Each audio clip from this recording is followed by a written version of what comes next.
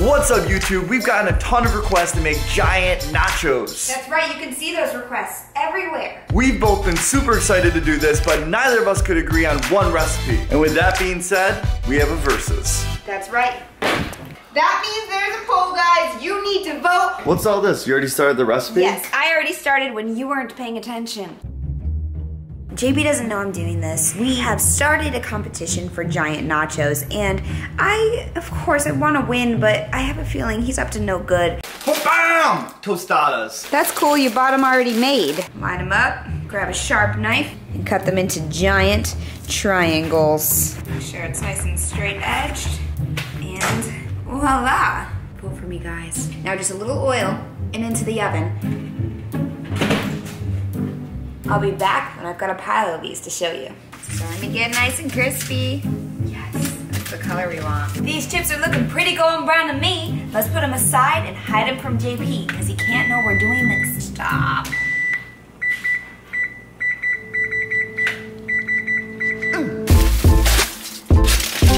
Pretty big, right? Oh damn, those are cool. Thank you. I didn't know that she did all this, guys. Did you know she did all this? I get what you're doing though now. You're doing like loaded nachos, right? Yeah. One thing I'm doing that's going to be different than JP's recipe is I am going to be making my seasoning from scratch. So we're gonna put in our chili powder, garlic powder, onion powder, red pepper flakes, oregano, paprika, cumin, salt, and pepper. Just gonna mix this together. We're gonna add in two tablespoons of Mexican seasoning and one cup of water. We're gonna bring that to a boil, let it simmer until everything is evaporated and you've got your beautiful meat sauce. We also have to prepare just a few other things. We're gonna make a pico de gallo by dicing up some tomato, onion, some cilantro, and mixing in some salt, pepper, and apple cider vinegar. Stir that up because you want all those flavors to combine and go in together and be all delicious for the pico de gallo. So you had already cooked all this prior? When you were sleeping, I was working.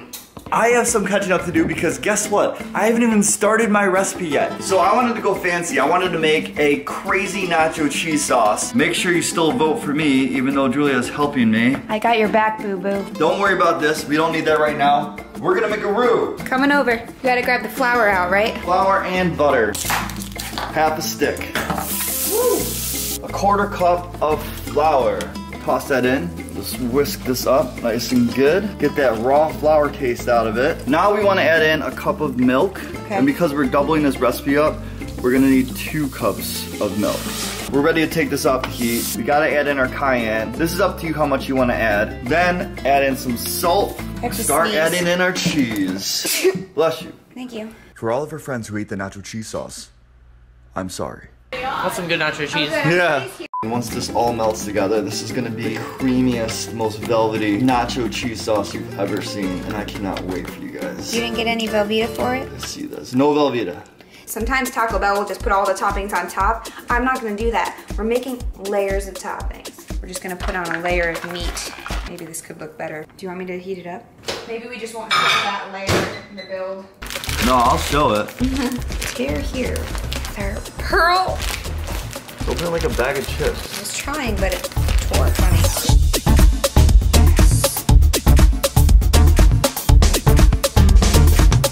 How many nachos did you make?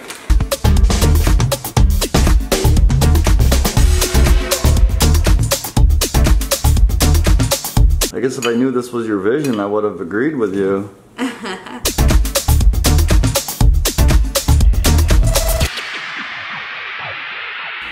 God. I hope I don't drop this everywhere. Yeah, you're making me nervous. Is it gonna fit? I don't know. Oh, it's not gonna. Oh, it does. Oh, no, it doesn't. Okay, we gotta take that one tray out. You know when you go to the movie theater and you got those nachos and they're all in like the little tray thing, the little dipping sauce of cheese? Oh, Bam! Tostadas. These are giant nacho chips. Tell me that don't look like a nacho chip. Perfect. You get your tostada, you just go down in there, dip it, and look at this.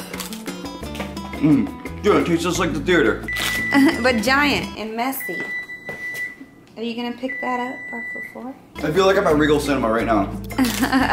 Gotta make sure this isn't burning. I think these are good. Plate your thing, JP. We can't wait anymore. Uh, Every our customers are waiting outside at the party. Row one. Row one. Oh yeah, look at that. Just like the movie theater. And then there's always a side of the cheese sauce. This is the coolest thing. It's a giant tray of nachos. This is how you eat them, guys. Like you're at the movie theater, watching your favorite movie. I'll see you guys later. I'm gonna enjoy my show.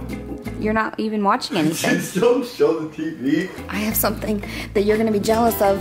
While I watch shows, this is what I'm gonna have next to me. Oh my goodness, those actually look incredible.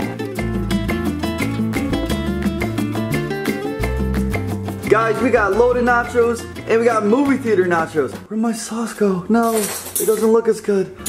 It's okay though. That's right, because it's always time for nachos. Always, no matter what day. That should be a t-shirt. It's always time for nachos. This is delicious. This is like eating a quesadilla, except without the top, but it's extra crispy.